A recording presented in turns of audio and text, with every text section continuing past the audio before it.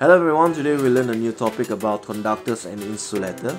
So the bulb will light up when the switch is closed because the electric currents flow in a complete circuit. What happens to the bulb if the switch is replaced with other objects or materials? Let's investigate.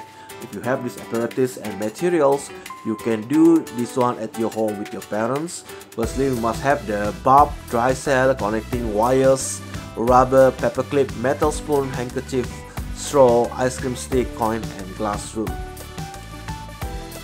Alright, this is the step how to build a circuit here. How to build a circuit.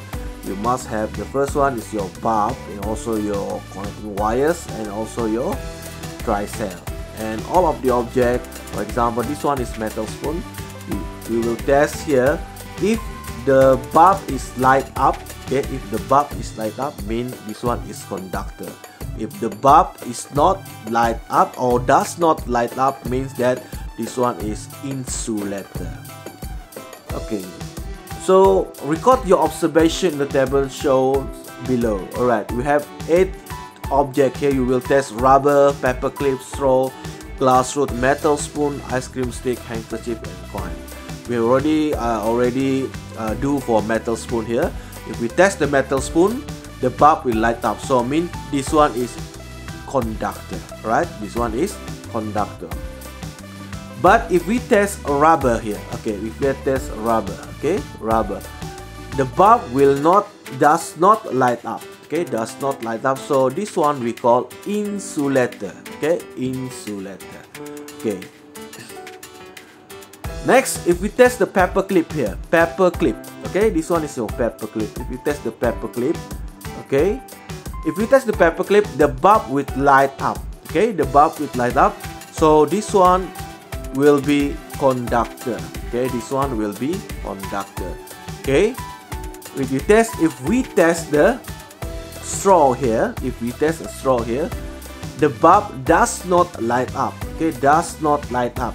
Mean this one is insulator okay? Insulator all right if we test the glass rod okay if we test the glass rod okay the bulb does not light up okay the bulb does not light up. So this one means that this one is insulator okay metal spoon already. Ice cream stick if we test the ice cream ice cream sticks okay the bulb also does not light up okay does not light up. So means this one is insulator okay if we test the handkerchief here the bulb also does not light up. And lastly if you test the coin the bulb light up. Okay means this one is conductor right so the full result here like this one. Okay the bulb for test for rubber rubber does not light up. Test for paperclip right light up. Test for straw does not light up all right so Look here, I am a paperclip, I'm allow electric currents to flow through me because I am conductor, okay? I am a paperclip, I allow electric currents to flow through me because I am conductor. A conductor is a materials that allow electric current to flow through it, okay? Conductor is a materials that allows electric current to flow through it. Means maksud dia uh, conductor ini sebarang bahan yang membenarkan arus elektrik yang melaluinya. Itu dalam bahasa Melayunya. Okay. Secondly, I am a rubber. Okay, I am a rubber. I I don't allow electric current to flow through me because I am in an insulator. Okay, because I am an insulator. An insulator is a material does not allow electric current to flow through it. Okay, an insulator material does not allow electric current to flow through it.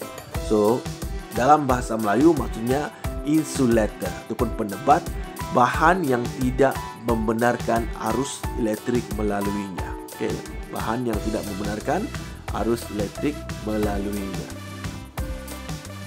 Alright. So step two other example conductor and insulator. Okay, two other example conductor and insulator. The first conductor is metal spoon. Insulator, for example, is straw. So just remember, just remember any materials that allow electric current to flow through it. Okay, we call this one conductor. For example, paper clip or metal spoon. Insulator, materials that does not allow electric current to flow in. Does not. Okay, this one is allow electric current. This one it does not allow electric current. So example of insulator the example of insulator for uh, this one for example straw and also example straw and also handkerchief ice cream stick also insulator all right so let's do some revision all right some revision about electricity topics. So the first one, electricals component. Alright, electricals component. What is electricals component? Alright, the firstly, firstly is dry cell. Okay, dry cell, bulb and switch. Alright, dry cell, bulb and switch. Okay, number two, function of electrical component. Okay, the function of electrical component. For example, dry cell here. Okay, dry cell to supply electrical energy okay to supply electrical energy bulb to produce light this one is bulb to produce light switch to complete and break this electric circuit alright so means that the function of switch to complete and break the electrical circuit a bulb a switch a dry cell a connecting wire are used to form complete circuit right? connecting wire. This one is your connecting wire. Okay? Complete and incomplete circuit. Okay this is the example. This one is complete circuit. Okay we have close close switch and also the bulb will be light up. However if the circuit incomplete so the with the bulb will not light up because the there is open switch over here all right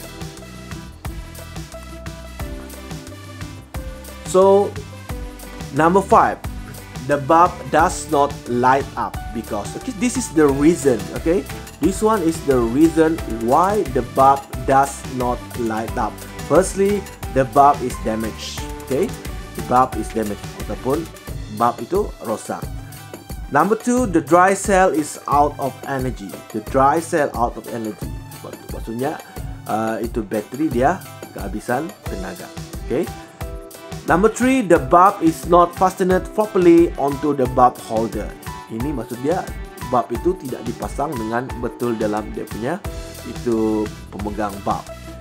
Number four, the wire is con not connected correctly to the electrical component. Okay, the wire is not connected correctly to electrical component means banyak wire itu tidak dipasang dengan betul. And last one, the switch is open.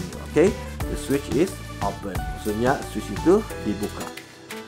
Okay, a conductor a conductor is an object to allow electric currents to flow through it. Example of conductor metal spoon, nails and coin.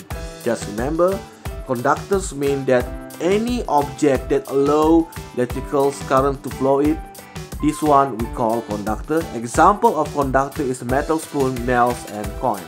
And lastly, so for the sorry for the last one is uh, an insulator is an object does not allow electrical currents to flow through it. For example, insulator are called rubber and plastic. Just remember, insulator an insulator uh, that is in, uh, is an object that does not allow electric current to flow it.